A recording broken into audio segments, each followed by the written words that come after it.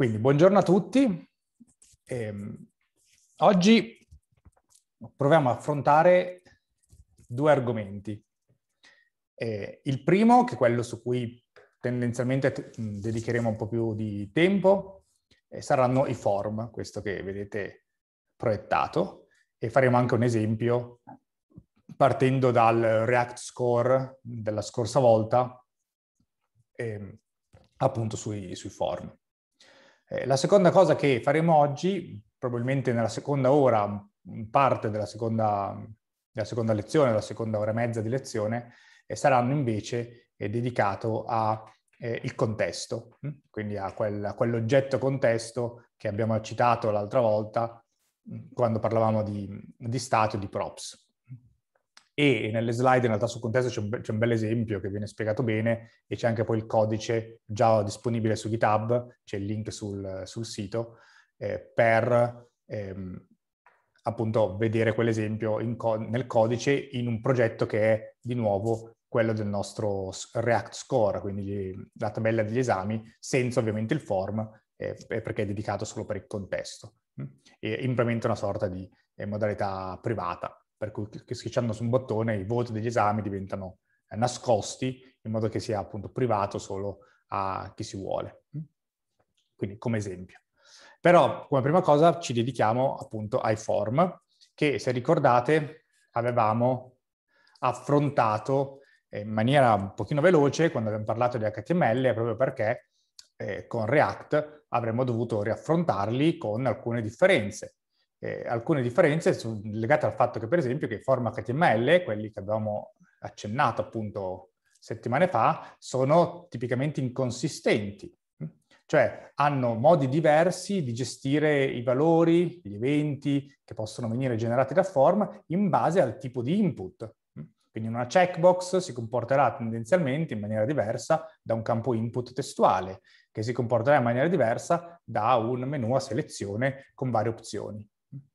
Questo in HTML è una conseguenza della compatibilità eh, all'indietro, che però in React non, eh, non, c'è in un certo senso, perché React cerca di eh, appiattire questa differenza di comportamenti in un modo sintetico, in un modo più uniforme e, e, attraverso questi che vengono chiamati gli eventi sintetici.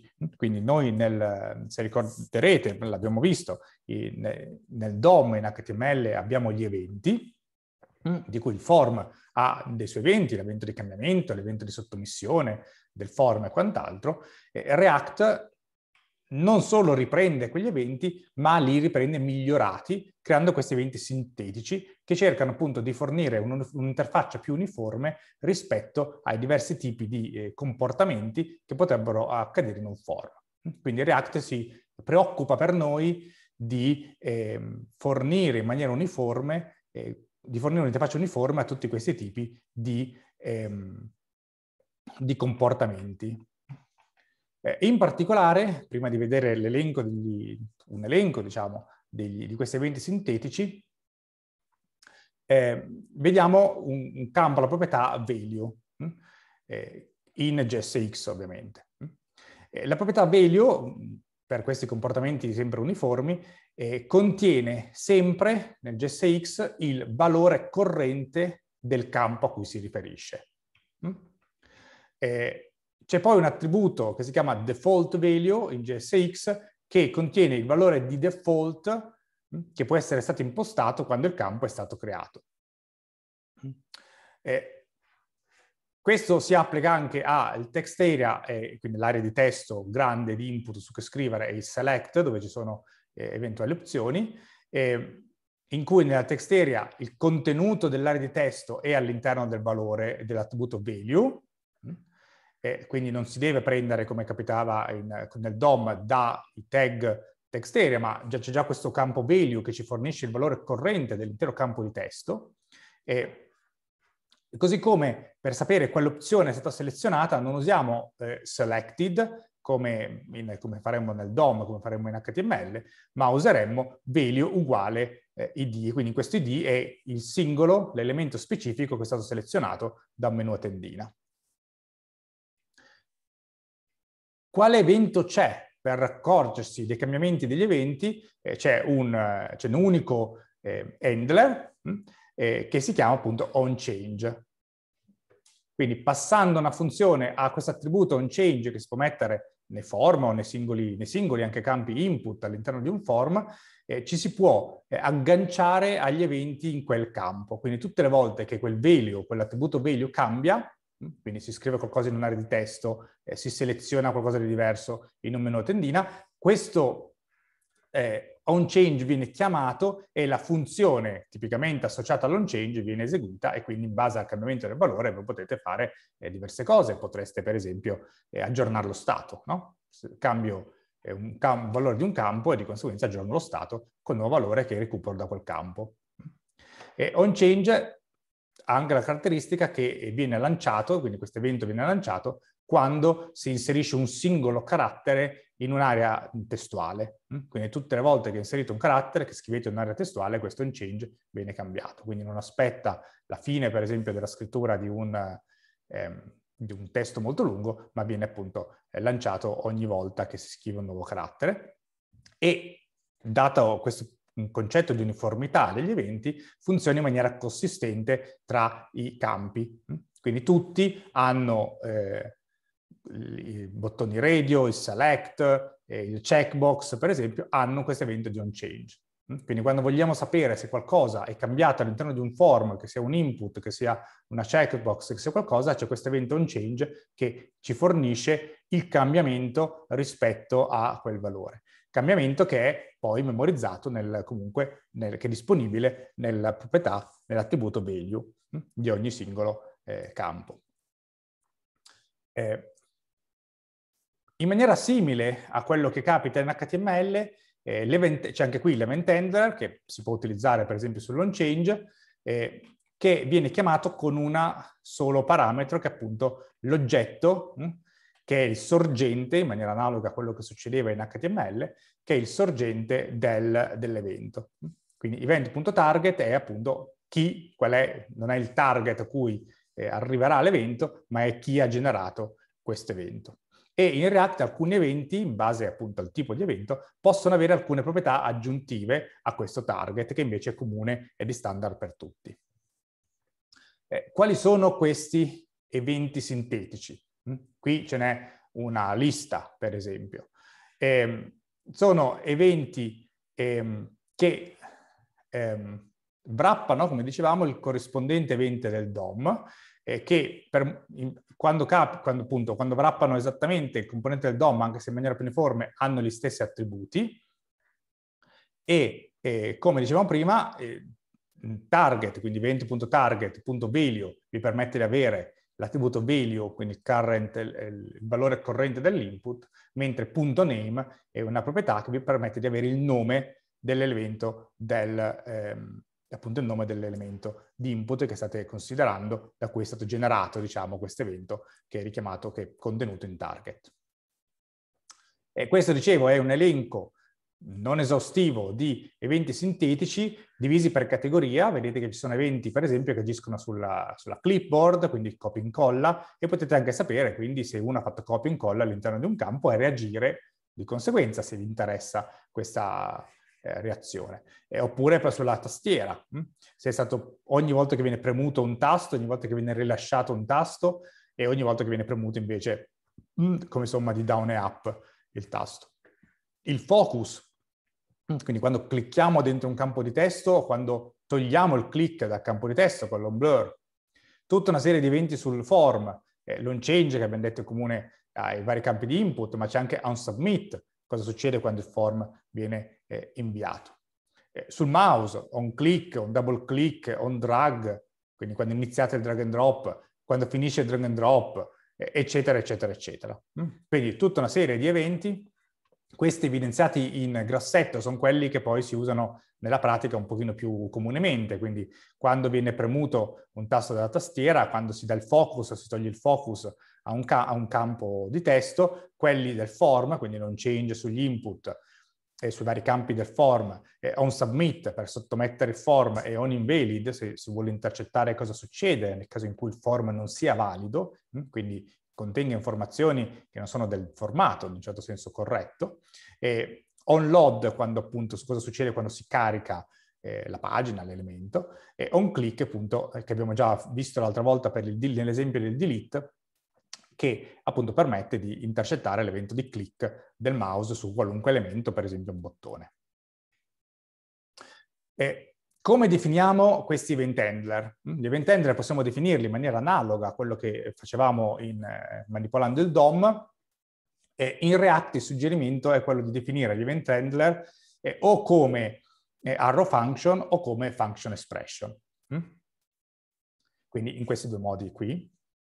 E se abbiamo bisogno, eh, dobbiamo fare attenzione che possiamo anche passare il nome della funzione come proprietà a un event handler, però facciamo sempre attenzione che passiamo il nome della funzione in questo modo, mm, quindi come, come eh, espressione mm, JavaScript, ma evitiamo di chiamare la funzione. Mm, quindi qui passiamo eh, l'event handler, che poi è implementato come per esempio arrow function, e quindi quando, non lo so, si cliccherà questo div, quando succederà qualcosa su questo div, secondo questo handler, verrà chiamata questa funzione. Mm? E se noi invece la passiamo con le parentesi, stiamo chiamando la funzione in quel momento. Quindi appena questo div verrà eh, creato, questa funzione verrà eseguita immediatamente. Mm? E di conseguenza l'altra cosa non bisogna passarla come stringa, ma bisogna passarla come eh, espressione. Mm? Quindi se vogliamo passare, appunto, quando passiamo il nome della funzione come proprietà, come props, dobbiamo passarla come espressione. Mm? Eh, eh, allo stesso modo bisogna specificare il nome della funzione mm, nell'event handler, quindi possiamo scrivere props.handler per prendere il nome eh, della funzione, e, se deve passare da padre a figlio a figlio e così via, e, non di nuovo chiamandola, non espressamente, non di nuovo passando i parametri eh, chiamando la funzione per lo stesso motivo di prima, ma se abbiamo bisogno di, parlare, di passare dei parametri usiamo un arrow function all'interno dell'onClick. Mm? Questo è il modo eh, tipico anche, eh, capita spesso anche quando non ci sono parametri, che uno crea un arrow function che poi mm, chiama l'handler con eh, i parametri. In questo modo l'onClick non viene eseguito subito, ma viene comunque, non viene eseguito subito appena questo bottone ritorna, ma viene poi eseguito in un secondo momento, quando effettivamente ci sarà l'evento di un click in maniera sincrona. E così possiamo anche passare dei parametri a questa funzione di handler, se ci servisse. Eh, due parole su chi gestisce lo stato eh, in, nel form, e poi ripeto, faremo un esercizio sul form in cui aggiungeremo un form al nostro eh, React Score e lo gestiremo, quindi con i vari campi di input. Eh, gli elementi del form, dato che ognuno ha il suo concetto di value, quindi sa che cosa c'è al suo interno in ogni specifico momento, eh, potete immaginare che gli elementi del form sono stateful, eh, automaticamente stateful, eh, perché appunto contengono questo valore che è sempre aggiornato e sempre corrente. E e ricorderete che le props e lo stato sono utilizzate poi per renderizzare il componente. Quindi al cambiamento delle props, questo lo ripetiamo, al cambiamento delle props e al cambiamento dello stato, React rirenderizza il componente o rirenderizza la pagina in base a quello che ha poi bisogno con quei meccanismi del virtual DOM. E per eh, fare questo processo di rendering correttamente, React ha bisogno di sapere quali valori devono essere poi impostati nell'elemento eh, form, nell'elemento del form. Quindi a ogni cambiamento hm, di uno dei campi di input, quindi ogni on change, React deve essere notificato del nuovo cambiamento del valore in modo che possa poi, eh, quindi aggiornando lo stato del componente, in modo che possa far partire il re-rendering. Altrimenti, se cambia qualche valore, l'utente non lo vede perché ovviamente non, non viene rirenderizzato correttamente il componente. Mm? Quindi a ogni cambiamento di stato, ogni cambiamento di valore, di value di un elemento di input, bisogna agganciare l'onChange, se c'è uno stato in questo componente ovviamente, bisogna agganciare l'onChange, e tipicamente c'è, bisogna agganciare lo change in modo da notificare React che è cambiato lo stato del componente in quello specifico momento e quindi provvedere eventualmente al re-rendering degli elementi che eh, sono collegati al form. Eh, ci sono, e questo lo accenniamo soprattutto per la parte di componenti non controllati, ci sono due eh, tipi di componenti per quanto riguarda il, soprattutto per quanto riguarda il form. Eh, ci sono i componenti che si chiamano controllati e quelli che si chiamano non controllati. Quali sono i componenti controllati? Eh, I componenti controllati sono quelli di cui abbiamo parlato fino adesso. No? Quindi quando eh, un componente in React contiene nel suo stato i valori che devono essere mostrati negli elementi dei form, del form, questo si chiama un componente controllato, perché React ha pieno controllo di tutto, lo stato è mappato sui valori, i valori sono, riaggiornano lo stato ed è tutto controllato e gestito da React. E questo è il modo ovviamente preferito di lavorare. In alcune occasioni, eh, ma noi cercheremo di evitarlo, eh, potrebbe essere però utile mantenere il valore non eh, a livello di React, quindi non a livello del virtual DOM, ma nell'elemento reale, diciamo così, HTML che corrisponde al DOM.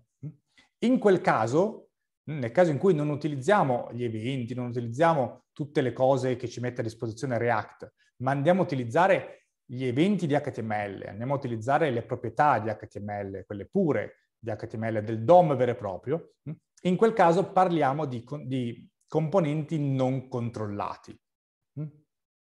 Questo è tipicamente co eh, codice che è legacy eh, e eh, tipicamente sono componenti eh, read-only, quelli che usano quei componenti non controllati. Mm? Quindi per i form possiamo definire questi componenti controllati e non controllati, dove quelli controllati sono quelli appunto che abbiamo visto finora, in cui, in cui, gestiamo il form interamente in React, e quelli non controllati in cui il valore degli elementi del form sono in realtà memorizzati nel DOM. E quindi andiamo un po' a rompere questa catena questo link tra lo stato e il valore e viceversa. Mm?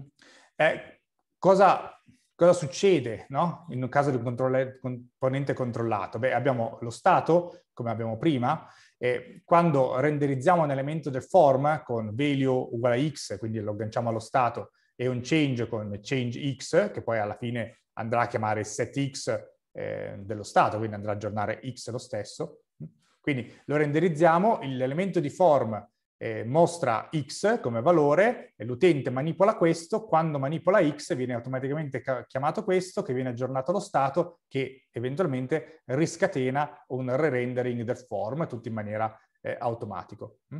Quindi impostare, come scritto qui, value più onChange e ovviamente questo anche aggiornamento dello stato tra value e, e lo stato rende il componente pienamente controllato.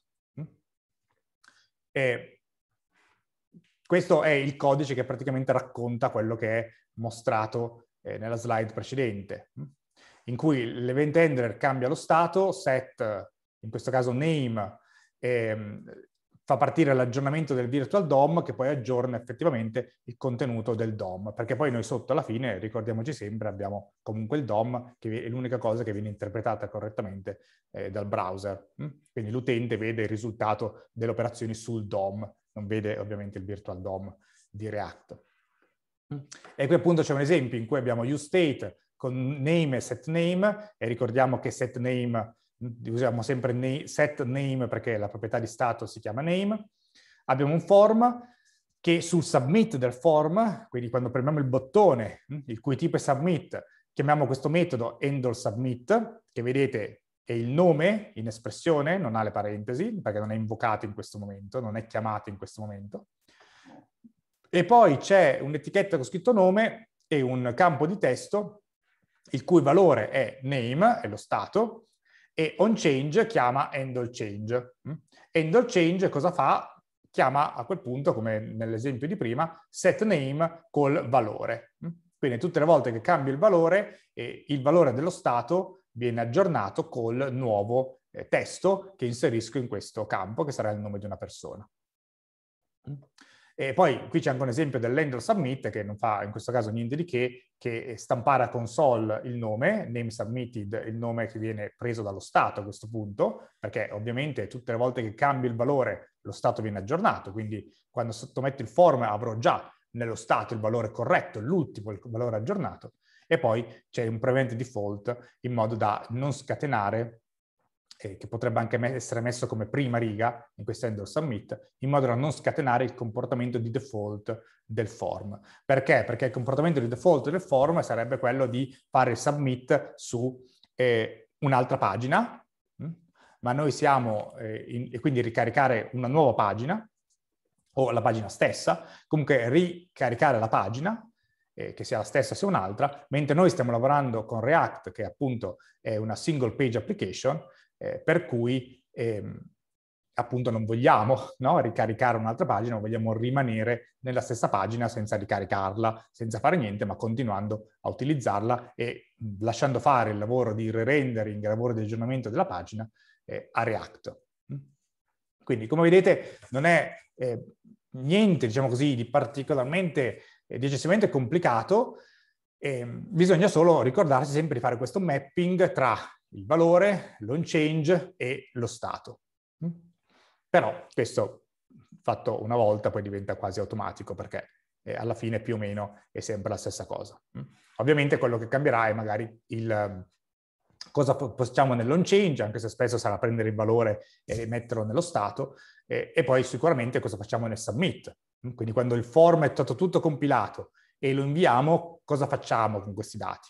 Mm? Allora nel caso del nostro esempio eh, sui voti, noi avremo un form per aggiungere un nuovo esame alla tabella. E quindi eh, l'endol submit, eh, quindi questi endol change, l'equivalente di questo endol change, saranno i vari aggiornamenti dei vari campi, il nome dell'esame, il voto preso, la data in cui è sostenuto, che andranno a essere messi in uno stato, e poi l'endo submit prenderà queste informazioni dallo stato e le aggiungerà, per esempio, alla tabella, nel nostro caso le aggiungerà alla tabella eh, che abbiamo realizzato l'altra volta. E nel caso dei componenti controllati, non controllati, che appunto non descriveremo perché sono abbastanza complicati, in quanto mettono insieme parti del DOM con parti di React, quindi cerchiamo di utilizzare, ed è quasi sempre possibile, o, o quantomeno lo renderemo possibile, quantomeno nel corso, ehm, i componenti controllati, che sono molto più comodi, sono molto più eh, facili da gestire rispetto a quelli non controllati. Però cosa succederebbe in un, in un eh, componente non controllato? Beh, succede che innanzitutto non abbiamo lo stato all'interno del componente che rappresenta il form. E quindi quando il form viene renderizzato avremo un default value questa volta, mm, perché sarà il valore di default del, che, che, verrà appunto assunto, che sarà uguale a una certa props, perché non abbiamo lo stato, quindi eh, dovremo inizializzare no? in qualche modo quel, quel campo. E avremo poi l'on submit, non avremo l'on change, che sottometterà il form. Quindi man mano che manipoliamo l'elemento del form, l'on change non farà niente? Mm, eh, in realtà, perché mostrerà sempre x, qualunque cosa sia x in questo form, il nome, per esempio, di prima, sempre nel suo valore iniziale. Quando poi premiamo submit, a quel punto la sottomissione dell'intero form, se avesse anche 50 campi, la sottomissione dell'intero form cosa farà? Chiamerà un metodo che è agganciato a una props del padre, visto che questo non è stato, e salverà le informazioni e farà lui quello che dovrà fare. Però vedete che mancano questi link che abbiamo fatto prima e c'è questo on change che fa più fatica a renderizzare l'elemento del form. Questo, eh, quindi non impostare il value più l'on change rende automaticamente il componente non controllato e React in un certo senso lo sa che non è controllato e quindi questo non controllo cade in un certo senso sulle spalle dello sviluppatore e, e che per esempio potrebbe preoccuparsi no? in qualche modo manipolando il DOM cercando di manipolare il DOM direttamente, cercando di recuperare gli elementi dal DOM, di aggiornare eh, l'elemento X presente qui quando viene lanciato un change, perché un change comunque viene lanciato, ehm, ma gestirlo in un certo senso a livello di DOM e quindi rende le cose più complicate. Noi, come dicevo, non eh, descriveremo, non parleremo dei componenti non controllati, ma useremo sempre quelli controllati? Che poi è quello che capita nella maggior parte eh, dei casi attualmente. Però sappiate che esistono, sappiate che se non fate il map tra value on change, possono succedere cose eh, diverse da quelle descritte, che si chiamano appunto, rientrano nel concetto di componenti non controllati, in cui questa mancanza di controllo da parte di React eh, ricade poi, come, come, dire, sulla responsabilità dello sviluppatore.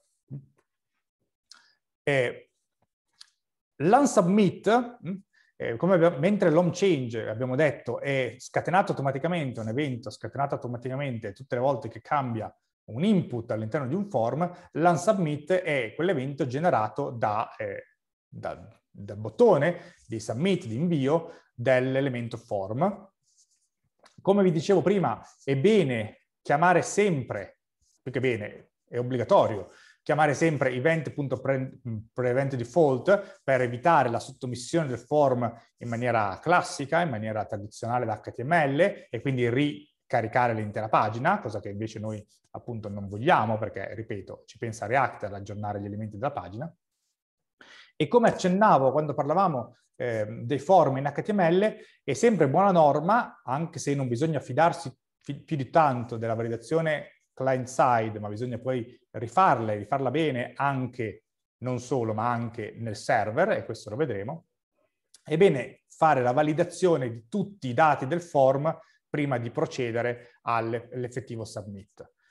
E questa validazione si può fare sia utilizzando i check eh, sulle variabili di stato, perché lo stato in un, in un componente controllato contiene comunque l'ultimissima informazione aggiornata, e e anche e utilizzando, oppure utilizzando dei validatori tipo questo, hm, che appunto vi permette di validare più facilmente eh, il contenuto delle variabili di stato. Hm. Per esempio questo validator è una libreria che potete installare e che ha per esempio un metodo che si chiama isEmail, in cui automaticamente eh, riconosce se il valore che avete inserito è un'email nel formato corretto.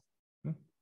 Eh, oppure se è di una certa lunghezza, oppure se è una stringa, oppure se è un numero oppure se un numero di una certa quantità. Quindi tutta una serie di controlli di validazione che possono essere utili prima di, nel mondo, diciamo, quello che faremo poi nelle prossime settimane, prima di inviare questi dati a un server che magari li memorizzerà in un database.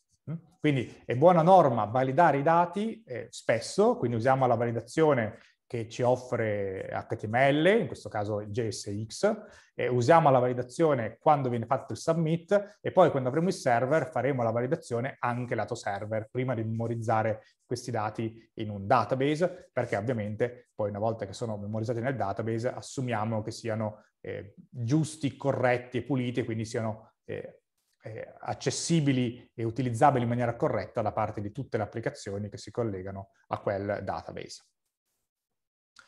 Eh, c'è un'alternativa ai componenti controllati, che non sono i componenti non controllati, eh, perché alcune volte, come potete immaginare, può essere abbastanza tedioso usare i componenti controllati, perché tutte le volte che abbiamo non change bisogna ricordarsi di aggiornare il valore, scusate, di aggiornare lo stato corrispondente a quel valore, eccetera, eccetera, eccetera. Quindi se abbiamo un form molto grande, abbiamo tanti form, dobbiamo tutte le volte per i singoli campi dire on change, value, metti nello stato, eccetera, eccetera, eccetera. E si può anche fare un... Appunto, poi questo, questo, componente React ha, questi, ha, tanti stati, oppure uno stato molto grosso da gestire separatamente, quindi può diventare abbastanza anche complicato se abbiamo tanti form, appunto form molto complessi, molto grandi. E però l'alternativa ai componenti controllati non è ovviamente usare i componenti non controllati perché ci portano dietro altri tipi di problemi, ma l'alternativa può essere per esempio usare una libreria. Mm? Come usiamo Bootstrap in questo momento per la parte di CSS essenzialmente, esistono anche delle librerie molto molto usate come questo Formic, mm? che è una libreria apposta per gestire i form che risparmia diversi mal di pancia eh, rispetto alla gestione dei componenti controllati e in questo caso Formic riesce a mantenere le cose organizzate in un form senza nascondere troppe informazioni, troppi dettagli allo sviluppatore, ma senza neanche obbligarlo a fare certe cose troppo ripetitive. E, ehm, lo stato è comunque locale ed aggiornato e Formic include già la validazione e in più tiene traccia dei campi visitati e gestisce in maniera furba eh, per esempio validando le informazioni, la sottomissione del form. Mm?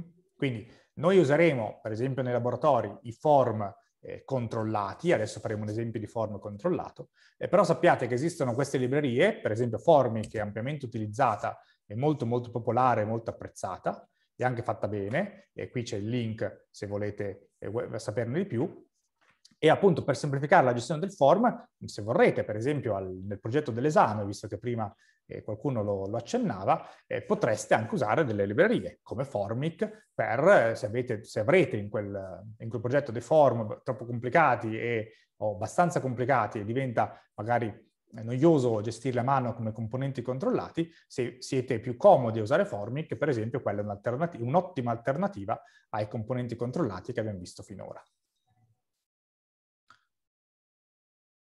Ecco, prima di passare all'esercizio, mm, eh, fatemi dire due cose che c'entrano con lo Stato, ma fino a un certo punto, che c'entrano con form, scusate, ma fino a un certo punto, e che c'entrano invece sicuramente con lo Stato, mm, di cui negli elementi controllati, nei form come componenti controllati, ovviamente ne abbiamo a che fare, ma in realtà c'entrano con lo Stato in, in, ogni volta che si usa lo Stato.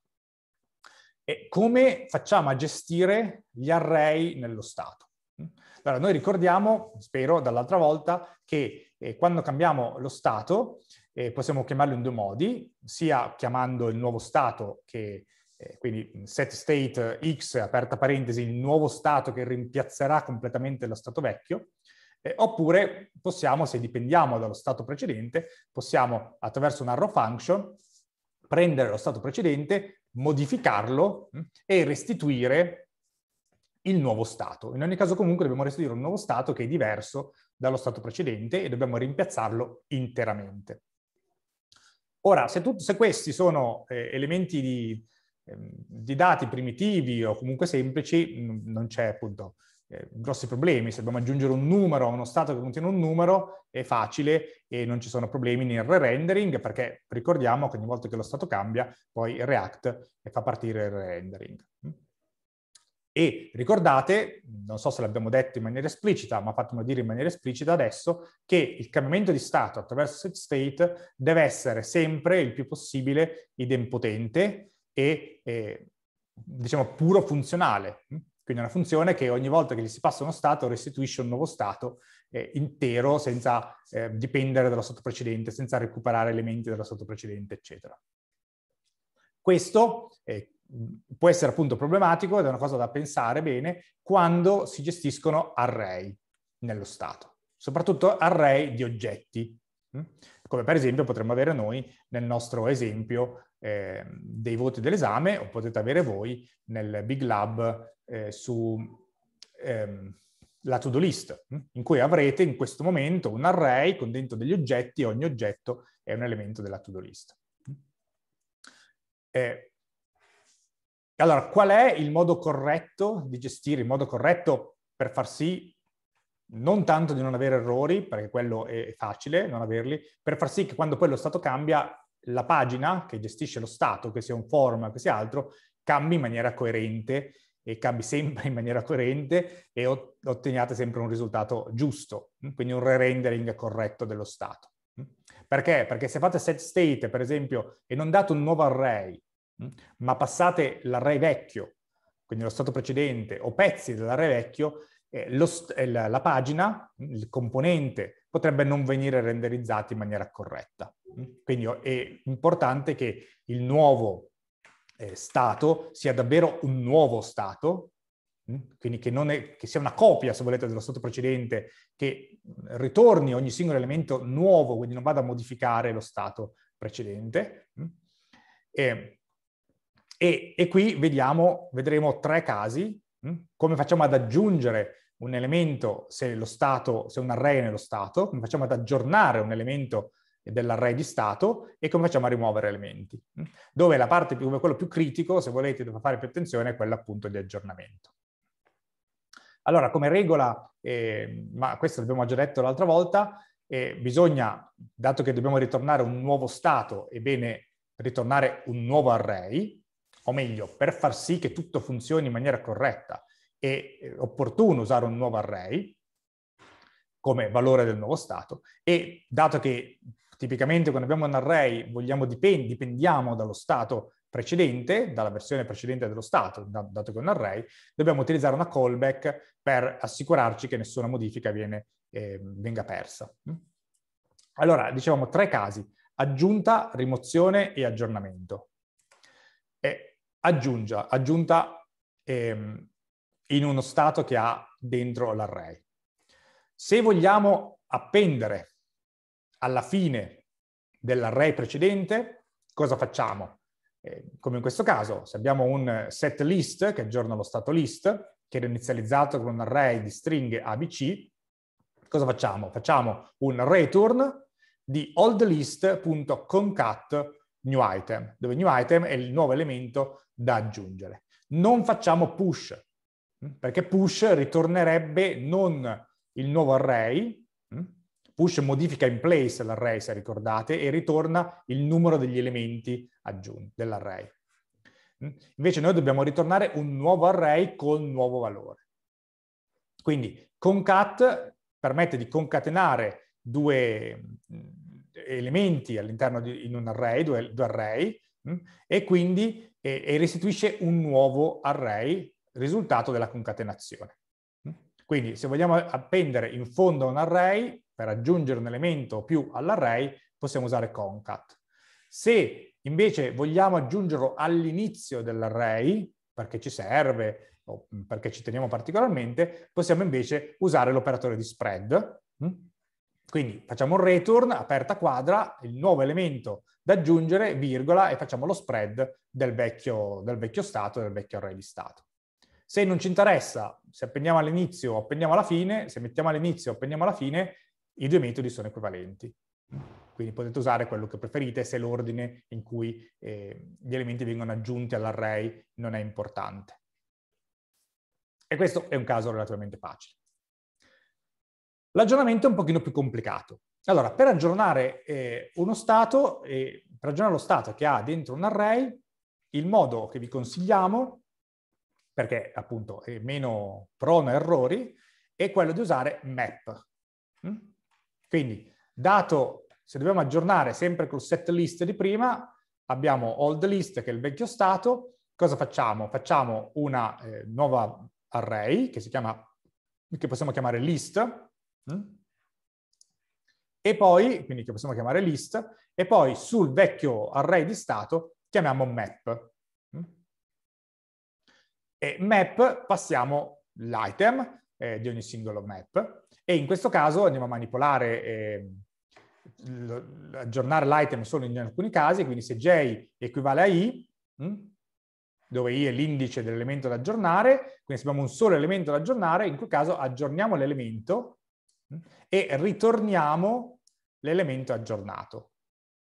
Altrimenti, nel caso in cui non dobbiamo aggiornare gli elementi, dato che map ritorna solo quello che viene manipolato, ritorniamo comunque l'elemento eh, precedente che esisteva. Notate che in questo caso facciamo return item e, e questi sono hm, tipi, diciamo, primitivi, perché sono numeri. E quindi possiamo sia manipolare eh, lo stato utilizzando, partendo dal vecchio item e aggiungendone uno, sia ritornando il nuovo, il vecchio, diciamo così, il vecchio valore di stato. Se questi non fossero numero, numeri, ma fossero oggetti, come in questo caso, quindi qualcosa composto da un id e da un val, hm, per esempio, non possiamo, è sbagliato, hm, fare quello che facevamo prima, quindi aggiornare un pezzo dell'item, prima aggiornavamo tutto l'item, ma qui aggiornare un pezzo dell'item, per esempio mettere eh, val invece di, facciamo finta, fo, mettere new val e fare return item. Perché è sbagliato? Perché in questo caso, hm, se noi ricordiamo come è strutturata eh, in memoria eh, un array, mm, questi oggetti mm, sono solo puntati dall'array. Quindi questo map crea un nuovo array che però continuerà a puntare al vecchio oggetto. Ora, nonostante questo, eh, ovviamente sia lecito in JavaScript, può creare problemi in React perché React potrebbe non accorgersi, e tipicamente non se ne accorge, eh, che l'elemento è stato cambiato. per cui lui si ritrova uno stesso item che aveva prima nello stato e quindi può non accorgersi che l'elemento è stato cambiato e quindi non fare il re-rendering corretto della pagina. Quindi come regola eh, base, il vecchio oggetto non deve mai essere utilizzato. Ora, se un numero non c'è problema, perché tanto map fa una copia di quello, ma se un oggetto, map fa una shallow copy, in un certo senso dell'array, dall'array vecchio all'array che restituisce in list, e quindi questi non vengono copiati effettivamente. Quindi non possiamo modificare un, item, un valore di un item e ritornare all'oggetto, in questo caso item, ma dobbiamo crearne uno nuovo. Quindi faremo un return di eh, item id e il suo nuovo valore. E se qui avessimo più campi, continueremmo a creare un oggetto con più campi. Potremmo anche avere una funzione da qualche parte, un costruttore, in un certo senso, di questo oggetto e chiamare il costruttore, come vogliamo. Però dobbiamo tornare a un qualcosa di nuovo, non possiamo modificare l'oggetto precedente. E se invece l'oggetto non è una cosa da eh, aggiornare, possiamo direttamente ritornare l'item di prima all'oggetto di prima. Questo perché? Perché tanto comunque non essendo aggiornato non importa se... Ehm, se React non si accorge del cambiamento perché tanto il cambiamento qui non c'è mai stato, hm? perché quello che aggiorniamo è questo elemento qui. Hm? Quindi quando aggiorniamo un, un oggetto non cambiamo semplicemente il contenuto, ma ricreiamo l'oggetto nuovo, anche se solo cambiasse un campo. In questo modo React si accorge che l'oggetto è cambiato e può, dopo che lo stato è stato aggiornato, e può eh, rirenderizzare correttamente il componente. Eh, la rimozione, mm, in maniera analoga all'aggiunta, eh, possiamo farla in due modi. Se vogliamo rimuovere i primi elementi, possiamo utilizzare il destructuring, mm, quindi eh, possiamo prendere la vecchia lista e mettere tutto in list tranne in questo caso il primo elemento che andrà in first, e poi se vogliamo eliminare first, se questo è quello che non ci interessa, semplicemente ritorniamo list. Questo vale ovviamente se vogliamo eliminare il primo o i primi elementi, perché se fossero altri elementi potremmo aggiungerli qui prima di quest'ultimo elemento, quindi togliere i primi tre elementi, eh, first, second and third, e poi avere l'operatore di spread e list per tutti gli altri e ritornare list. Se invece vogliamo fare una rimozione più, eh, più precisa, perché magari dobbiamo rimuovere l'elemento 5 in un array che ne ha 20, eh, per esempio, dobbiamo usare filter. Mm? Quindi aggiunta concat se ci interessa aggiungere in fondo, in coda, oppure possiamo usare l'operatore di spread se ci interessa aggiungere in testa, o equivalenti se non ce ne frega niente dell'ordine in cui abbiamo aggiunto. Update, dobbiamo sempre ricordarci di ritornare non solo un nuovo array, ma anche un nuovo eh, item eh, creato da zero, soprattutto nel caso in cui questo sia un oggetto o un altro array, hm? un array con dentro un altro array funzionerebbe uguale, è più, è più improbabile che ci sia in uno stato una cosa del genere, ma funziona uguale, per rimuovere, e quindi usiamo map per modificare l'array, per aggiornare l'array che è dentro uno stato, per rimuovere possiamo usare o filter se vogliamo fare una rimozione più precisa, oppure possiamo, se vogliamo rimuovere i primi n elementi, dove n può anche essere 1, dell'array, possiamo utilizzare il eh, destructuring, quindi l'operatore di spread in questo modo, mh, mm, e ritornare solo la parte che non abbiamo rimosso. Mh. E, e, ovviamente anche questo è sempre un nuovo oggetto. Quindi la costante è che dobbiamo usare sempre eh, l'arrow function, per fare questo tipo di funzioni, quindi usare una callback e ritornare sempre un nuovo array che rimpiazzi interamente lo stato. Questo, scusate se lo ripeto eh, diverse volte, ma è eh, poi fondamentale ed è causa poi di, degli errori più comuni e più semplici eh, relativi a questo, a questo aspetto.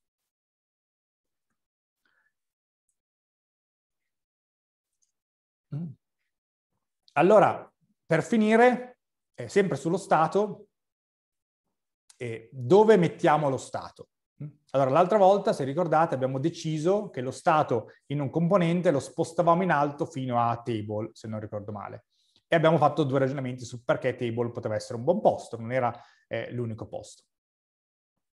Eh, E quello che abbiamo fatto l'altra volta è quello che qui è scritto eh, state lifting per gli application component o container component. Quindi spostiamo i componenti fino al container che ci interessa di più con quei ragionamenti che abbiamo fatto l'altra volta nell'esercizio. E dove mettiamo invece lo stato nei componenti di presentazione? Perché in un form, l'abbiamo appena visto, non, non, ci conviene spostare lo stato su, sul container eh, del form, perché ogni volta che cambia value dobbiamo aggiornare il, lo stato, quindi non avrebbe senso poi farsi passare tutte le volte lo stato dalle props. Allora, per i componenti di presentazione come form, come le tabelle, ma non nel nostro caso l'abbiamo messo poi in una tabella, come le liste, come widget e quant'altro, in cui probabilmente avranno bisogno di accedere direttamente loro allo stato, è buona norma che loro contengano uno stato locale che rappresenti le loro proprietà che andranno poi a mostrare. Quali sono queste proprietà? Potrebbe essere l'ordine del sort, potrebbe essere se aperto o chiuso, eh, se sono appunto attivi o messi in pausa, eccetera. Quindi è uno stato che o manipolano direttamente, come nel caso del form e dei velio, o uno stato che interessa solo a loro. Eh, l'ordinamento all'interno di una tabella o all'interno di una lista, eh, se la lista è aperta e collassata, se vediamo solo i primi dieci elementi o vediamo tutti gli elementi. Sono tutte informazioni di stato che sono importanti, perché se sono a pagina 1 in cui vedo i primi 10 elementi, ovviamente è un'informazione che io devo sapere, perché se sono a pagina 5 vedrò altri elementi e devo ricordarmi di essere a pagina 5 piuttosto che essere a pagina 1. E questo stato ovviamente non è di interesse fuori dal componente, quindi non ha senso spostarlo eh, al di sopra. Mm? Quindi lo stato che ha senso che sia visto da più componenti, valgono i ragionamenti che abbiamo fatto l'altra volta, eh, per quei componenti di presentazione che possono avere, oltre magari allo stato, eh, come appunto, eh, come nel caso del form, mh, hm, uno stato locale, magari sul contenuto effettivo del, del form, in questo caso, mh, hm, ci possono anche essere altre proprietà di stato, eh, come l'ordinamento e quant'altro, che possono avere eh, il loro interesse solo in quel componente e quindi per, per l'altra volta un vostro collega l'ha chiamato eh, minimi privilegi, no? utilizzando in un certo senso la stessa logica, dato che quello stato, se la tabella è lunga o corta, se è ordinata alfabeticamente dall'A alla Z o viceversa, dato che questo non interessa ai componenti superiori, per il minimo privilegio lo manteniamo all'interno del componente di presentazione. Eh, l'ultima cosa sullo stato, eh, dato che ovviamente noi possiamo creare lo stato che, gli stati che vogliamo, eh, noi possiamo sia andare da un eccesso all'altro, un eccesso è avere un unico stato con tutto dentro quello che ci interessa, e questo è in generale, non, non si applica solo ai componenti di presentazione o a quelli di applicazione o container. Quindi noi potremmo avere un unico stato con tutto dentro, tipo un, eh, una variabile state e uno, state, uno set state, eh, per dirla col, col metodo e col nome della variabile, eh, oppure dall'altra parte potremmo avere uno stato con ogni singolo elemento della variabile, quindi un name, set name, surname, set surname, eh, age, set age, eh, score, set score, eccetera. Ora, mentre alcune di, di, queste cose sono probabilmente obbligatorie o comunque fortemente eh, consigliate se dobbiamo gestire un form, in generale mh, è buona norma non avere né uno stato troppo complicato, quindi tipo un unico stato con dentro tutto, eh, né eh, troppi piccoli statarelli perché poi per aggiornarli e tenerli in sync mh, diventa poi un pasticcio e diventa poi molto complicato. Per cui se, quando aggiorniamo il nome dobbiamo aggiornare anche il cognome e anche l'età e anche tutto, ovviamente dobbiamo chiamare 40 volte set state per aggiornare tutti i componenti. Quindi eh, il, il suggerimento è cercate di creare stati che non siano troppo grossi, anche perché poi tutte le volte che lo modificate dovete modificarlo interamente e restituire un nuovo stato, ma dall'altra parte che non siano neanche troppo piccoli eh, e che quindi rappresentino, se volete, il livello minimo di informazione che ha senso che stia insieme in base a quello che deve fare la vostra applicazione web in React. Domande fin qui? Adesso vediamo poi un esempio, adesso anzi vediamo l'esempio su, eh, andando ad aggiungere un form.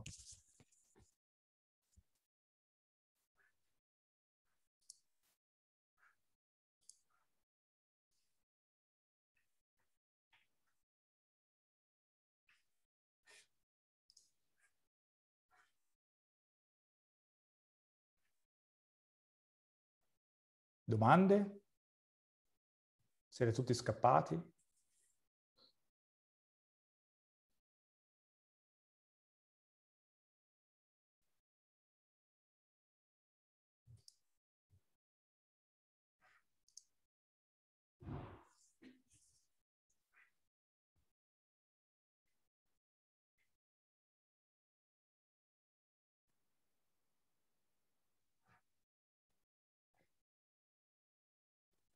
Ci siete ancora, sì? Qualcuno risponde? Grazie. Quindi domande niente, tutto chiaro, tutto abbastanza digerito finora?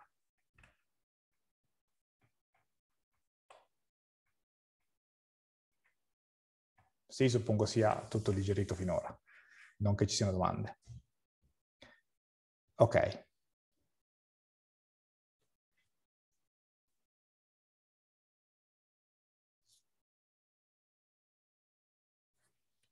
Ok, come vedete con React stiamo andando un pochino più, no un pochino, stiamo andando più lentamente rispetto a come andavamo eh, prima con, eh, con JavaScript e soprattutto con HTML, proprio perché eh, appunto adesso facciamo i form, ci preoccupiamo dei form, poi aggiungiamo un altro elemento, l'altra volta abbiamo fatto solo praticamente lo stato, in modo che siano ben, eh, nonostante non siano magari particolarmente complessi, ma si riesca bene a, ad approfondire e a provare le varie cose. Mm?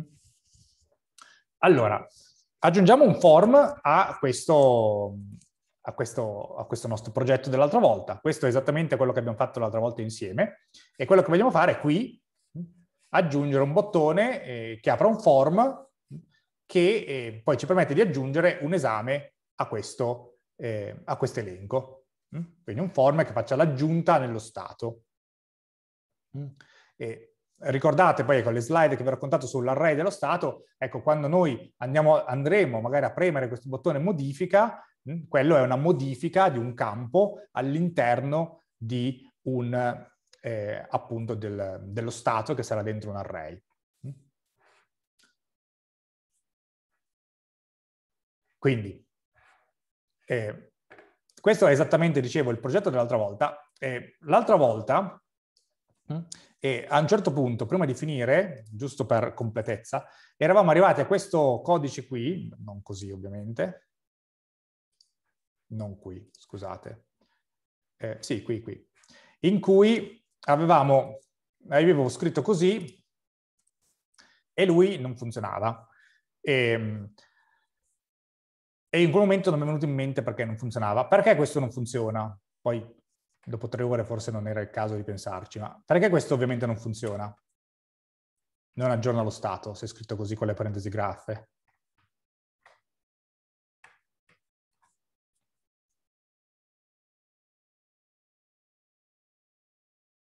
Questa è una raw function, questo è JavaScript normale, un problema relativo a JavaScript. Un problema, un, un errore. Esatto, ci vuole il return. Quindi l'altra volta l'avevamo scritto così, non funzionava e, e, poi togliendo le parentesi graffe ovviamente ha cominciato a funzionare. Perché con le parentesi graffe giustamente ci vuole il return perché si potrebbe aspettare anche un corpo di funzione più grande di una riga e quindi eh, ci vuole il return per dire che cosa deve ritornare. Senza le parentesi graffe il return è implicito e quindi ritorna tutto. Ritorna il risultato di questa singola operazione perché senza parentesi graffe potete avere solo un'operazione. Quindi questo eh, era il problema che l'altra volta abbiamo detto non funziona, togliamo, togliamo le parentesi graffe, ma volevo eh, sottolineare perché ovviamente non, non funzionava. E perché poi appunto magari nella pratica sono queste piccolezze che, che bloccano tutto e uno non ci, non ci, pensa più che gli mancava il reto. Eh, bene. Ora, questo è l'exam component del, dell'altra volta, esattamente identico a quello dell'altra volta e vogliamo aggiungere un form. Mm? Allora, eh, dove lo aggiungiamo il form? Beh, dobbiamo aggiungerlo sotto la tabella, quindi possiamo aggiungerlo nell'exam table. Mm? Quindi in fondo all'exam table, qui potremmo creare un componente che si chiama exam form, mm? per esempio, e poi adesso andiamo a riempirlo, e lo creiamo poi qui sotto, quindi function e questo è un altro componente, exam form, in cui probabilmente avremo bisogno delle props, quindi inizio a dargli delle props.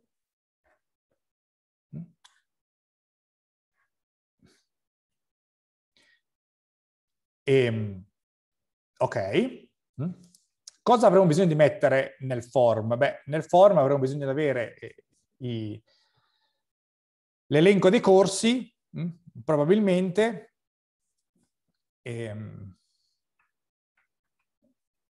l'elenco dei corsi, no? Essenzialmente. Poi un qualcosa per aggiungere un esame e per aggiungere un esame. Ora, qui ci dà errore, vi ricordate perché ci dà errore? Esatto, perché dobbiamo tornare a un elemento solo e noi ne stiamo ritornando due, table exam form, e quindi ci vuole il fragment. O un div, o un qualcosa, in questo caso è meglio il fragment. Mm. Allora, eh, exam form, mm, eh, sicuramente dobbiamo passargli i corsi, perché se no non possiamo aggiungere un nuovo, un nuovo corso, e quindi passiamo in una props che si chiama courses, eh, che se ricordate era in un'altra props, era ereditata, diciamo così, dal padre. Mm? Quindi questo exam table che riceve delle props da exam score e, riceve, e passavamo questo courses che a sua volta prende, veniva passato da app, se non ricordo male. Quindi questo courses adesso andiamo a passarlo qui. Eh, Insieme a questo courses, cosa avremo bisogno? Avremo bisogno ehm,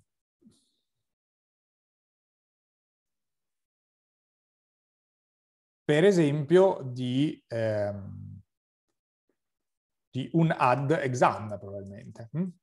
Quindi di un qualcosa che ci permetta di aggiungere eh, un esame hm? a, poi alla tabella quindi exam e facciamo add exam, che poi adesso andiamo a creare, andiamo a creare dopo.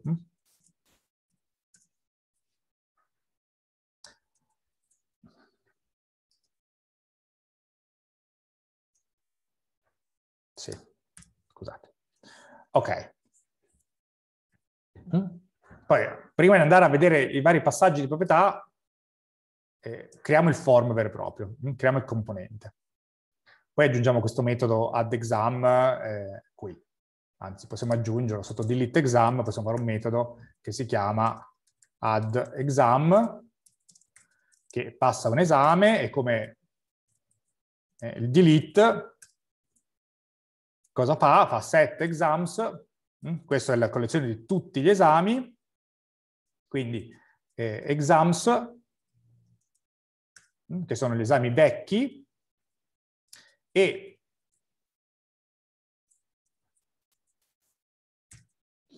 vabbè, manca la parentesi, e, e qui dobbiamo aggiungere, come lo aggiungiamo? Possiamo aggiungerlo per esempio con l'operatore di spread, mm, quindi exams, virgola, exam. Così ritorniamo un nuovo eh, un nuovo array che ha tutti i valori dell'array precedente più quello nuovo che andiamo a passare, quindi sarà sicuramente nuovo e quindi React saprà che può aggiornare la tabella perché questo ovviamente è nuovo. Mm? Ora andiamo a creare questo form. Mm? E partiamo dal return.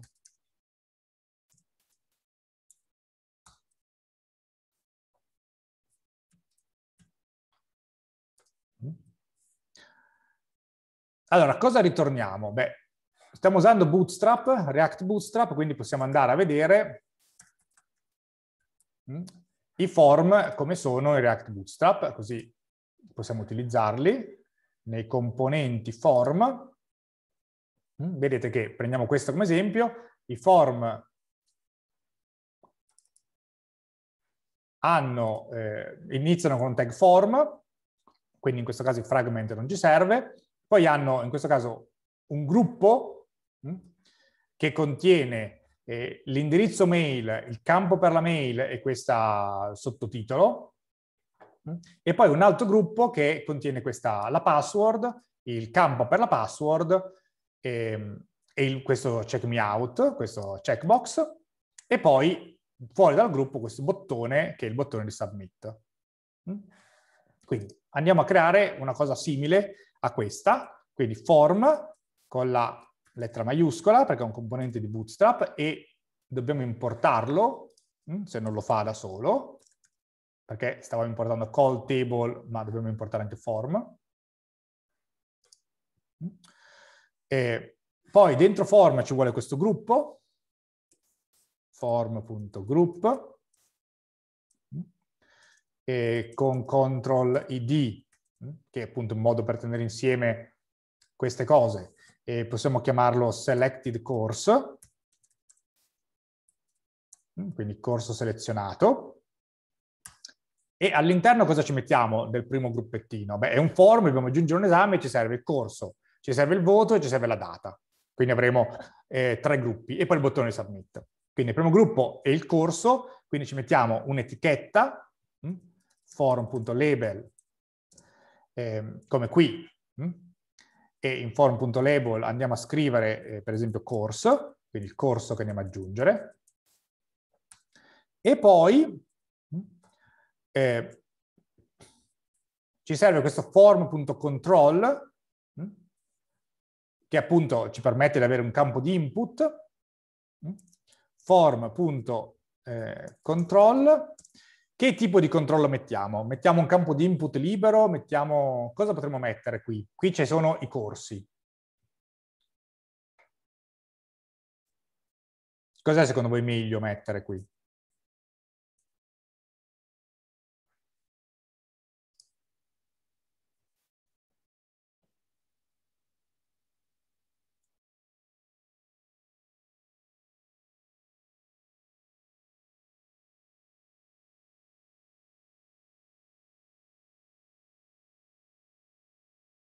Qui dobbiamo, lo ripeto, indicare il corso che vogliamo aggiungere. Un menu a tendina. Qualcuno stava scrivendo? Non basta? Siete d'accordo con un menu a tendina?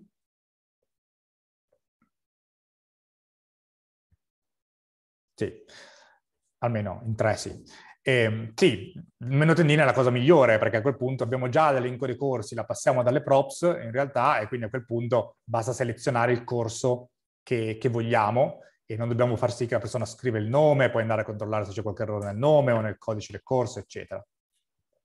Quindi un menu a tendina eh, si chiama, vedete questo form control è di tipo normale, non ha nessuna proprietà, ma se andiamo a vedere sotto come si fa nel menu a tendina tipo questo, che è quello che interessa a noi? E, e si indica così as select e poi ci sono le varie opzioni che devono comparire all'interno della tendina. Mm? Quindi form control as eh, select mm?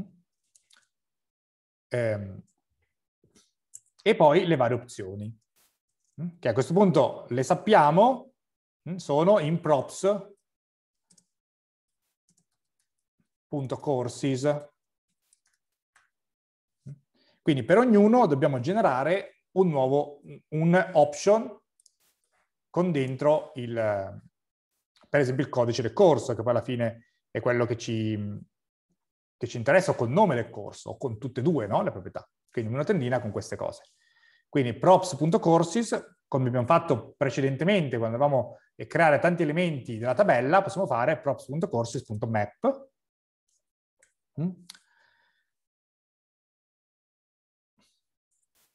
Quindi per ogni singolo elemento, per ogni singolo corso della mappa, del, scusate, della collezione di corsi, ehm, andiamo a inserire mm, un option.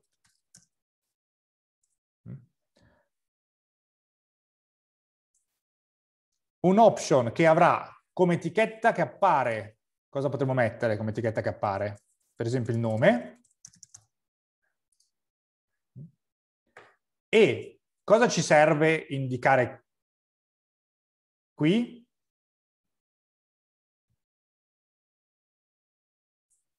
Eh, non sarebbe meglio mettere una tendina solo i corsi che non, so, che, so, che non sono stati già aggiunti? Sì, assolutamente. Eh, sarebbe meglio ovviamente qui non usare tutti i corsi, ma fare un filtro e prendere solo i corsi che non sono negli esami e quindi passare qui anche esami. Però dedichiamo il tempo, come dire, strategicamente dedichiamo il tempo al form. Quello è una raffinatura che sicuramente sarebbe importante avere, essenziale. Cioè, tutti quelli che non sono negli esami eh, sarebbero da escludere, però bisognerebbe fare un diff tra i corsi e quello che sono gli esami, perché qui ci sono invece tutti i corsi che hai nel carico. Però assolutamente sì, e sarebbe meglio fare così. E qui cosa manca? Manca sicuramente key, perché è una collezione di cose, quindi andiamo a mettere key. Eh, key sappiamo che deve essere eh, univoca all'interno della collezione, qui ce l'abbiamo già, una cosa univoca, che è il, è il codice del corso, che non mi ricordo come ho chiamato, fatemi vedere, che ho chiamato code, ok? Ehm, quindi qui ci vuole key, ehm, e dobbiamo anche definire value, hm? che è il valore che eh, prenderà il, il, campo quando viene selezionato. Perché? non è che dobbiamo, ma ci conviene definire value. Perché hm? noi nel, ehm, nella lista degli esami, nella tabella degli esami, eh, nelle, scusate, nella, nella, collezione degli esami? Quindi qui in app, da dove partiamo per generare quella tabella, non abbiamo il nome del corso, ma abbiamo solo il codice. E quindi ci viene bene associare al nome il codice e mettere nel valore non tanto il nome del corso, che tanto non ci interessa memorizzare qui, ma mettere direttamente il codice, dato che questa struttura ovviamente non contiene all'interno il nome, ma contiene solo il codice. Fosse stata diversa, potevamo eh, evitarlo. Quindi possiamo mettere un value che è course.code. Quindi in base al nome che viene selezionato, poi noi recupereremo nel valore il codice del corso corrispondente, che è quello che ci serve per la tabella esami. Mm? A questo punto, ehm, mm, poi c'è la fine del control group, a questo punto dobbiamo aggiungere qualcosa a questo eh, forum.control. Mm? Perché? Perché ricordate, cerchiamo di fare un componente controllato e quindi ci vuole eh, loan change. Mm? Eh, loan change che non, non, viene fatto a livello di option, eh, non so se qui c'è un esempio, ma eh, non viene fatto a livello di option, ma viene fatto a livello di form control. Mm? Perché option, come vedete, è scritto con lettera minuscola, quindi è un componente eh, che deriva direttamente dal DOM, mentre questi sono componenti eh, custom di, creati appunto da Bootstrap. Quindi qui ci serve l'on change. L'on change che come parametro prende un evento mm, e adesso andiamo a decidere cosa fare. Ma insieme all'on change ci serve anche il valore, mm, perché l'on change cambia il value. Eh, e il value è course. Perché il value course? Perché così andiamo poi a prendere quello che deriva da qui sotto. E... Ok, cosa mettiamo qui? Eh. Cosa mettiamo qui? Ci serve, abbiamo detto, aggiornare lo stato associato a questo form. Quindi ci serve lo stato. Quindi eh, const, chiamiamolo corso set corso, uguale use state e lo inizializziamo magari con le virgolette, perché non sappiamo come inizializzarlo, un corso di default. E a questo punto, quando viene selezionato un, un qualcosa da questo elenco, possiamo fare set course e passare che cosa? Event.target, quindi quale option è stata selezionata, punto value quindi il codice del corso. Che è questo, il codice del corso che è nel video. Mm?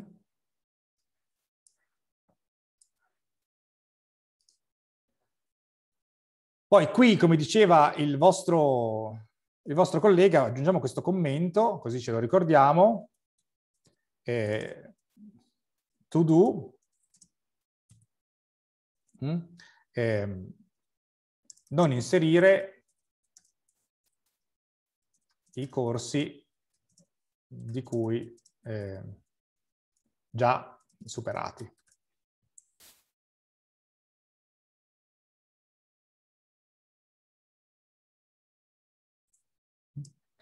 Eh, puoi ripetere cosa vuol dire value course code, course name? Allora, eh, course name è quello che appare nell'elenco a tendina. Noi nell'elenco a tendina, eh, quando aggiungiamo un nuovo corso, facciamo leggere al nostro utente non 01 fx eh, qualunque roba, ma facciamo leggere applicazioni web 1. No, perché se tu immagini come, che questo sia uno studente che, deve, che lo usa, è più facile che si ricordi il nome del corso che ha appena superato, piuttosto che il codice associato a quel corso. Mm? Però, quindi questo è quello che appare a schermo, course name, il nome del corso.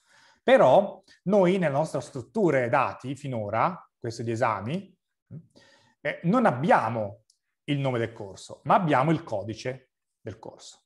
E quindi il value che è associato a quel nome che visualizziamo a schermo ci interessa sia il codice del corso e non tanto il nome del corso. No, il simbolo di maggiore non c'entra niente, nel senso che è così. Adesso provo ad andare a capo, ma... Cioè, course name è dentro il tag option. Mm? Sì, qui ovviamente mischiamo HTML, sorta di HTML con, eh, con JavaScript, quindi, quindi questo è il tag option, questa è la chiusura del tag option e questo è il contenuto del tag option come se fosse P. Posso anche lasciarlo così a capo. Eh, ok. Stavamo dicendo set course, impostiamo il corso, e che in questo caso è il codice del corso. Ecco, dato che il nostro stato all'inizio parte con virgolette virgolette mm, e, e, che nella nostra lista di opzioni eh, abbiamo solo qualcosa che ha un codice di corso che non è ovviamente eh, virgolette virgolette, dovremmo avere un'opzione all'interno del, eh, qui all'interno che corrisponda a questo virgolette virgolette. Cioè se vogliamo è come se volessimo definire un default value, così lo usiamo, che è uguale a virgolette virgolette. E allora se abbiamo un default value che è uguale a virgolette virgolette, abbiamo bisogno, come in questo caso lo stato del corso, abbiamo bisogno di un option hm, che potrebbe essere mm, seleziona, eh, è tutto in inglese, quindi chiamiamolo eh, choose, choose one, che eh, ha come valore, mm, virgolette, virgolette, che è quello che inizialmente lo Stato avrà. Quindi inizialmente questo sarà, eh, questo, quando apparirà il form nella pagina, apparirà con eh, scegli uno, poi, se noi volessimo, e non ci piace vedere scegli uno, potremmo metterlo nascosto e anche disabilitato. Così c'è, è quello selezionato di default, però è nascosto e disabilitato e quindi non si può selezionare. È importante che sia disabilitato, eh, soprattutto perché così il form non può essere sottomesso con il nome del corso equivalente a scegli uno, perché poi se no andremo ad aggiungere nell'esame un corso che si chiama Scegli 1, cercheremo di aggiungere in questa tabella degli esami un corso che si chiama Scegli 1. Mm? E poi possiamo anche nasconderlo così preveniamo ancora di più questa possibilità di errore. Però, ripeto, in un certo senso ci serve questo virgolette virgolette perché lo stato inizialmente di course, che è quello che passiamo qui, nel valore che andiamo ad aggiungere, mm, che andiamo poi a modificare con l'on change, è ovviamente eh, e all'inizio è virgolette virgolette.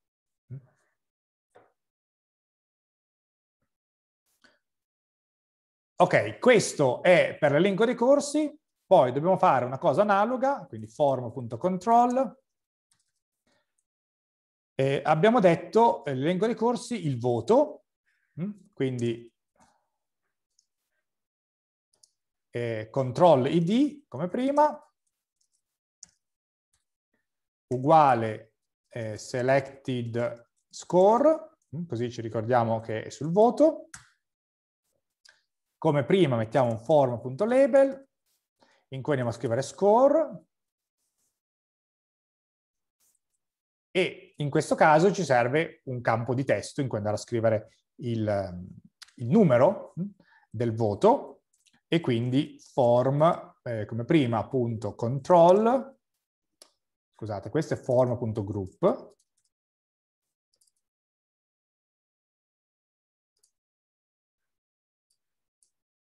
allora questo è form.group il gruppo sul corso. Poi ci serve un gruppo eh, sul ehm, sullo score, mm? Poi ci serve un gruppo sullo score e poi ci servirà un terzo gruppo sotto, form.group, mm? che sarà invece sulla data. Mm?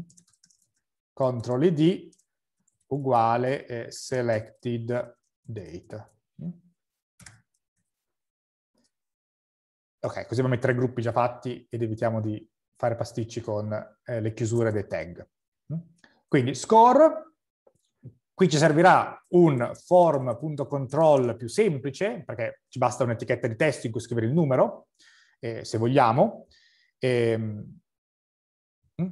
quindi form.control type, se guardiamo nella documentazione, c'è la type password, type text, ma è anche analoga a quello che succedeva con, con HTML. Abbiamo un type number. Possiamo definire eh, un minimo e un massimo, esattamente come facevamo per HTML, quindi possiamo dire che questo campo accetta come minimo un valore 18, una prima validazione, se volete, e come massimo un valore eh, 31, così possiamo anche eh, includere il, la lode. E anche qui abbiamo bisogno di value e di un change. In questo caso è solo un campo, non abbiamo tanti come, come le option. Quindi in maniera analoga creiamo un altro stato eh, che chiamiamo score, virgola, set score, con use state eh, che possiamo inizializzarlo a 30, o a 18 come vogliamo. E quindi qui possiamo scrivere value uguale score e set, eh, no, scusate, on change uguale di nuovo l'evento in arrow function che ehm, fa set score passando event.target.value. Quindi quando andremo a cambiare il valore di questo numero, eh, change, il value cambierà e verrà poi chiamato l'on change che passerà questo value allo, al, allo stato che di nuovo aggiungerà, aggiornerà il value che viene visualizzato. Tutto ovviamente gestito da React. Ok?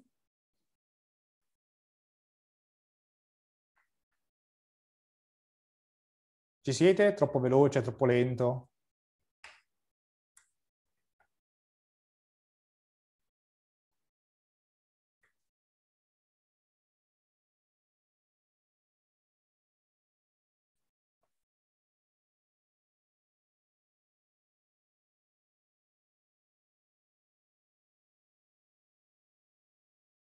Il componente è già importato in realtà, solo che ehm, volevo finirlo come form. Finiamolo, poi vediamo se riusciamo a vedere qualcosa, perché mancano dei pezzi anche sopra. È solo che è fermo il, il progetto. Mm. Però finiamo quest'ultimo gruppo e mettiamo il bottone submit e poi proviamo a farlo, a, a farlo eseguire e vediamo se abbiamo i pezzi che ci servono per, per visualizzare tutto.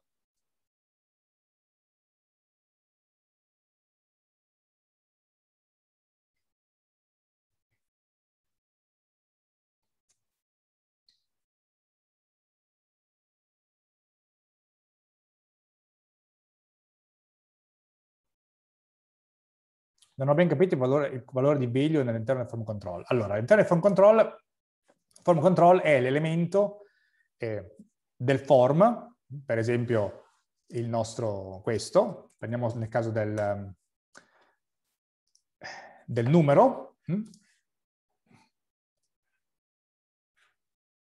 per esempio questo, ecco in questo caso un'email, ma questo. Hm? Allora, value è quell'attributo che viene automaticamente modificato tutte le volte che io scrivo qualcosa all'interno di un campo. Quindi in questo momento eh, React starebbe aggiornando eh, il value in continuazione.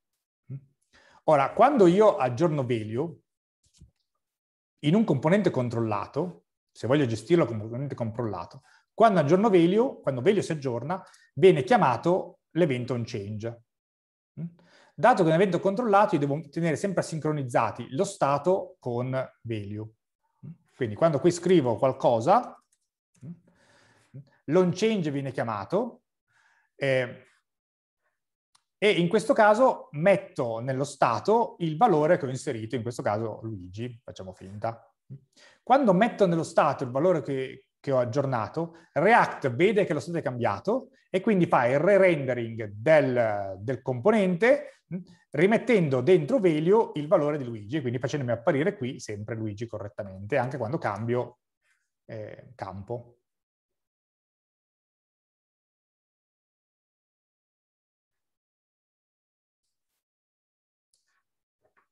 Quindi questa è, è la, dire, la, la, caratteristica dei componenti controllati, avere value, avere un change e avere il mapping tra value un change e lo stato definito come useState.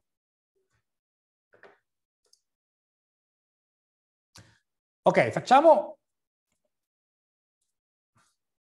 Eh, e poi vediamo se riusciamo già a vederlo o se ci sono degli errori, mancano dei pezzi, perché ovviamente non è finito. Facciamo l'ultimo gruppo.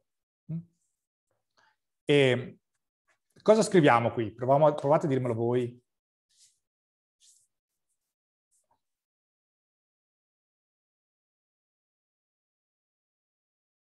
Eh, control ID è una caratteristica, è una cosa che ci richiede, che no, fa usare React Bootstrap.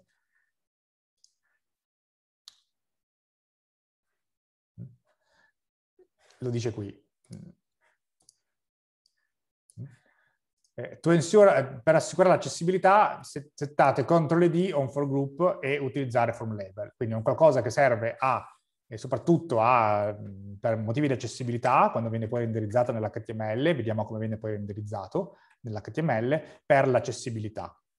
Quindi per dire che quello è un gruppo che è un contenitore che ha un certo scopo e questo scopo è selected score. Quindi serve soprattutto a scopo di accessibilità. Quindi è bene averlo.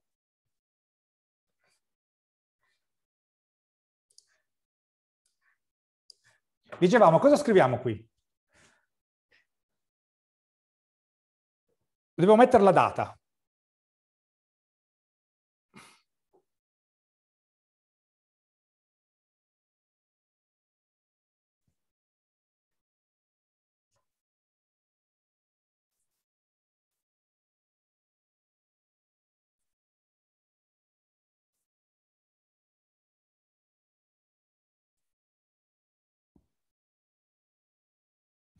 Sì, form label date. Ok, allora copio quello che dice Gabriele. Quindi form label date, sì, scritto correttamente ovviamente. Poi form.control type date, perché ovviamente esiste, giustamente, e on change Io copio identico, poi lo sistemiamo, eh? E, e ovviamente qui ci vuole un form control. Adesso mi dà errore, ma è normale così. E, ehm, sì, in realtà potremmo anche scriverlo senza questo, così abbiamo meno. Ok. E poi ovviamente non on change così, ma on change uguale qualcosa. Mm? E, ehm, e non solo un change uguale a qualcosa, ma ci siamo dimenticati? Cosa ci siamo dimenticati? Che va sempre pari passo con, con non change. Value. Esatto. Allora, value. A questo punto, cosa vado a scrivere qui dentro prima? Prima di scrivere qui dentro cosa devo fare? Qui ci sarà sempre event, bla bla. Cosa devo fare prima di scrivere qualcosa dentro value un change? Dobbiamo aggiungere un nuovo stato. Sì, in questo caso conviene avere tanti, uno stato piccolo perché così riusciamo a gestire le cose separatamente. Potremmo anche avere uno stato più, più grosso e avere degli unchange che chiamano un altro metodo che aggiorna tutti gli stati, però è più, è più facile così, soprattutto su un form eh, non tanto grande. Quindi const, eh, possiamo chiamarlo date, set date, fatemi ripetere un'altra volta che è estremamente importante chiamare il set qualcosa come il nome della variabile che abbiamo definito prima per lo stato, e use state, e possiamo mettere un oggetto DJS che rappresenta la data attuale. Quindi DJS aperta e chiusa parentesi è la data di oggi è la data che viene utilizzata. Eh, DJS eh, è importato in app, se non sbaglio, quindi dovremmo, sì, perché sennò non potremmo usare il format qui. Ok. Eh, DJS, quindi qui in value cosa andiamo a scrivere a questo punto?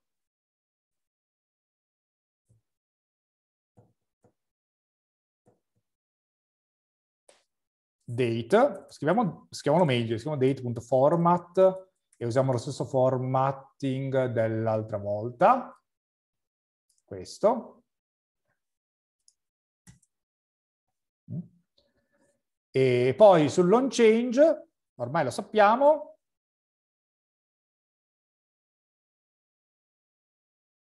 sull'on change,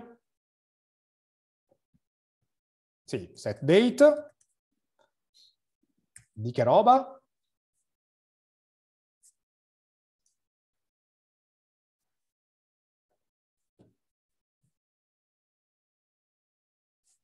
event.target.value, perché così prendiamo il valore di questo, eh, di questo campo. E ci serve una cosa di, in più, in questo caso, perché ovviamente noi stiamo usando le date in formato DJS, mm, in tutto, anche dopo, quindi ci conviene già qua avere un oggetto di tipo DJS, e quindi dobbiamo scrivere DJS mm,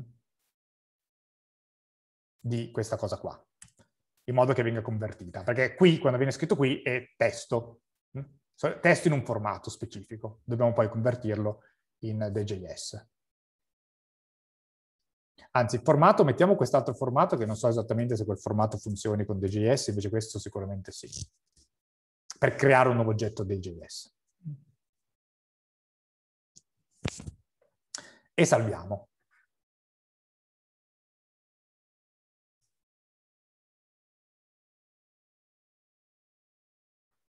Manca ancora una cosa e poi...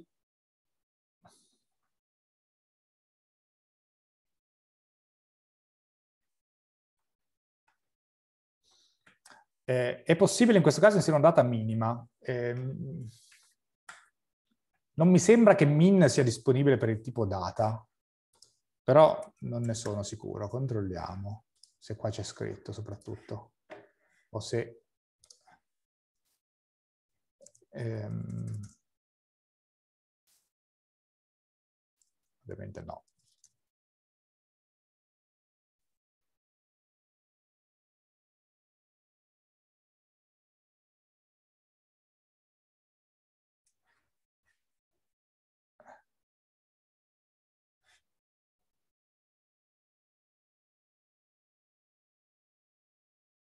Eh, date input min.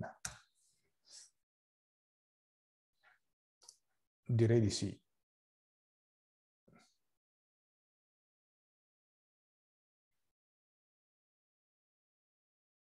Mm. Sì, potremmo anche usare min. Sì. Potremmo anche usare min e anche max se volessimo. Sì, potremmo. Se, se, mappa, se mappa, interamente sull'HTML, cosa che è probabile, sì. E non servirebbe il format anche date? No, perché eh, il format serve per visualizzare. soprattutto, no? Perché questo value è quello che viene visualizzato poi alla fine.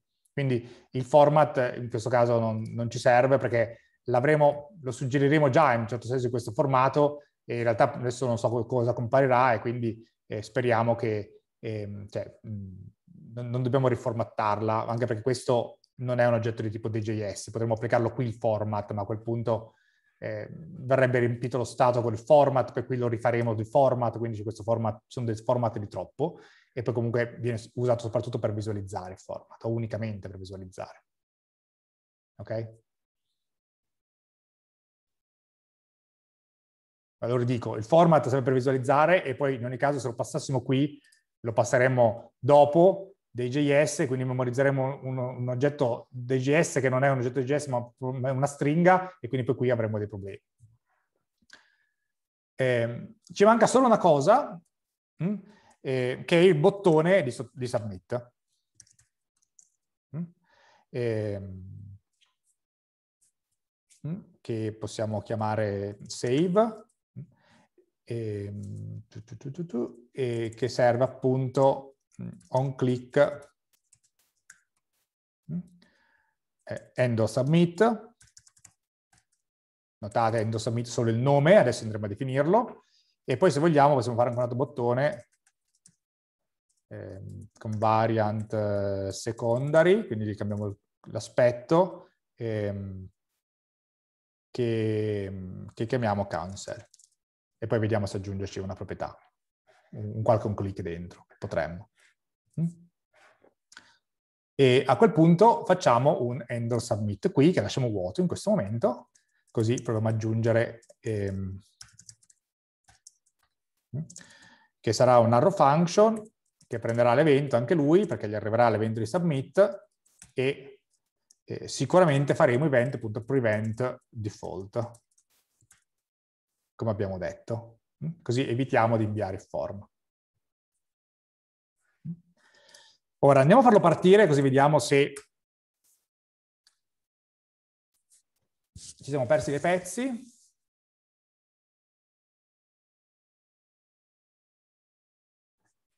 Sì, eh, allora button, ci siamo dimenticati di importarlo, E poi anche DJS devo importare. Ok. Import DJS from DJS.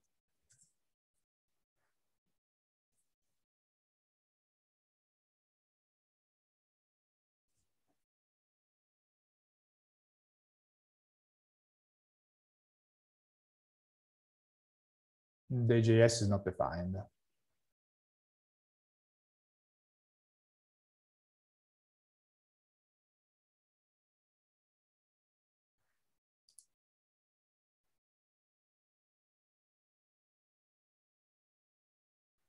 Vabbè, adesso, adesso ci pensiamo dopo la pausa. Vediamo intanto se funziona questo e poi...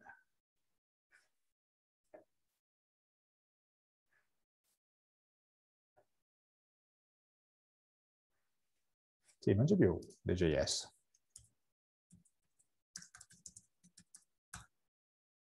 No, non, eh, JS dovrebbe essere già installato, perché lo usavamo già prima per visualizzare le cose. E const DGS require no, perché serve solo su server side, quindi giusto import. Certo.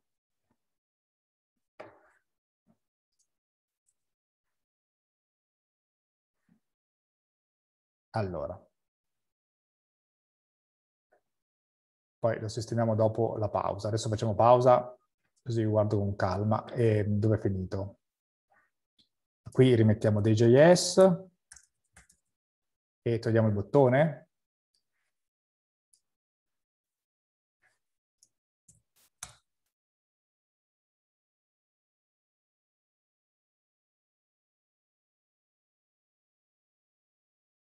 Ok, quindi un qualcosa nell'end submit probabilmente.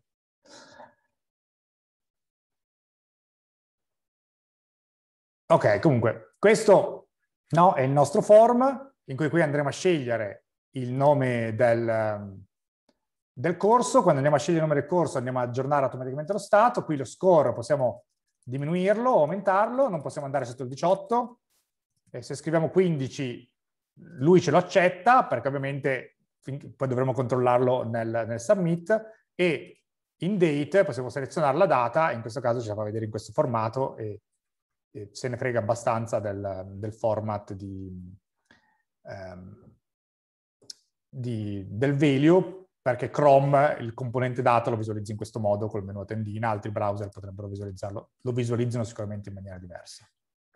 Mm?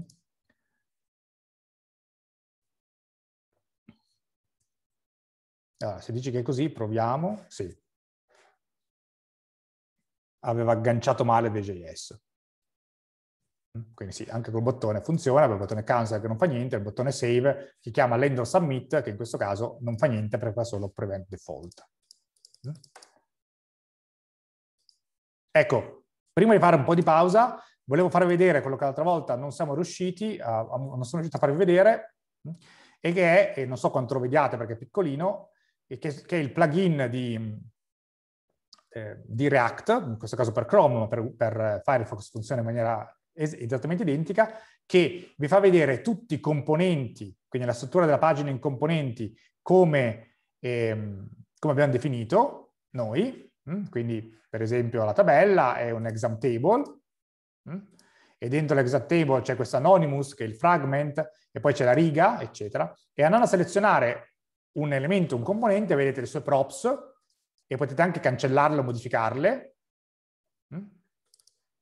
Mm? E anche, per esempio, sull'esame, se cancelliamo il terzo esame, eh, andiamo a cancellare eh, da qui e potremo vedere cosa succede, in questo caso niente, e, perché non aggiorna lo stato. E anche sullo stato possiamo andare a modificare, a cancellare lo stato, ovviamente vedete che cancellando lo stato mh, hm, cambia anche qui, così come se lo modifichiamo cambia anche la tabella. E, e, questo ovviamente per tutti i componenti singoli, compresi il bottone, compreso il form che abbiamo appena aggiunto, tra cui anche la proprietà children, hm, che rappresenta tutti i figli del, di un certo elemento. E poi ci sono altre proprietà interessanti, per esempio si può sospendere un componente se si vuole bloccarlo e, e si può anche vedere con questo occhio l'elemento DOM corrispondente. Quindi per esempio su form group noi potremmo schiacciare qui e lui ci porta a vedere qual è l'elemento DOM corrispondente? In HTML che React ha generato per tutti quelli, eh, per tutti i valori che, che, abbiamo definito. Quindi questo è molto comodo anche per debuggare e capire se magari c'è qualcosa nello stato che non va, eh, se cosa succede per fare una modifica veloce qui senza andare poi a toccare il, il codice in maniera... Prima di andare a toccare il codice può essere utile per capire se arrivano tutte le proprietà, se le proprietà sono aggiornate, se arriva lo stato, se lo stato è aggiornato in ogni singolo componente che si vuole. Questo solo per, perché l'altra volta non, eh, non, non, siamo riusciti a vederlo. Ok, io quello che farei adesso è eh, 10 minuti di pausa e, e riprendiamo alle 10.25.